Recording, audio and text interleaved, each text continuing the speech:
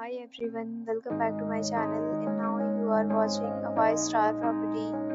In this property, one type of room is available on agoda.com. You can book online and enjoy it. To see more than 100 of reviews of this property, you can go to agoda.com.